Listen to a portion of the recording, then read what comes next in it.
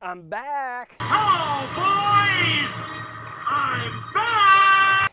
Okay, for those of you who've been listening to me on a daily or almost daily basis for my daily rants and raves, this is a special video version of ah.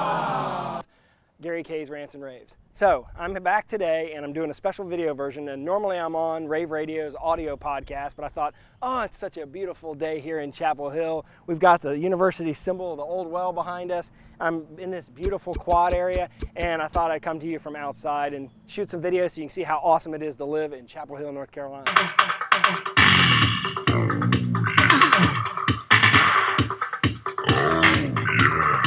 So back to what I was going to talk about. First of all, uh, let's thank our sponsor, Hypersign, who's the sponsor of all of our Rave Radio podcasts, all the audio podcasts, and this special video podcast. If you don't know who Hypersign is, check them out at hypersign.com. Check them out. All right, here's what I'm going to rant and rave about today.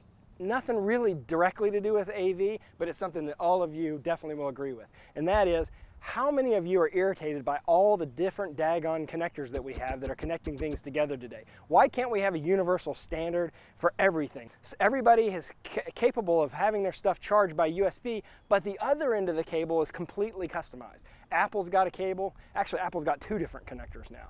Uh, Dell's got their own, Microsoft's got their own, Samsung's got their own. Uh, Sony's got their own, NEC's got, everybody's got their own connector. There's no standardization at all. In fact, you have to go to Radio Shack or Best Buy or something like that every time you lose one of these kids. It's a pain. Instead of the government spending their time making sure that cows have shelter or that cats aren't abused in the making of this movie.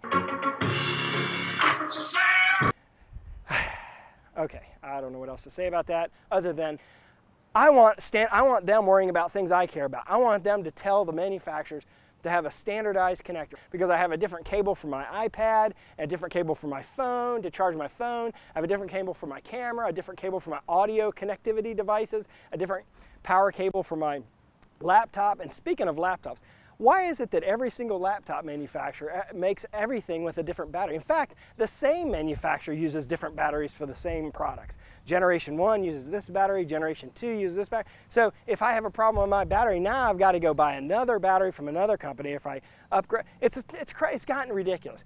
I want Congress to worry about stuff that I care about. They're wasting a lot of time. I don't even know what those guys are doing. What I want them to do is I want them to tell all these companies, I want them to say, you have to build everything with the same connector. You have to build everything with the same battery. Or at least say every manufacturer can use three different connectors. Or at least have each manufacturer use the same connector. Maybe that's the way to go. I don't know. You've got to be just as frustrated as me. What do you think? Let me know. Bueller. Check everything out at www.ravepubs.com. That's where everything is. And we're heading to InfoComm. So if you haven't seen our InfoComm coverage, check it out at www.ravepubs.com.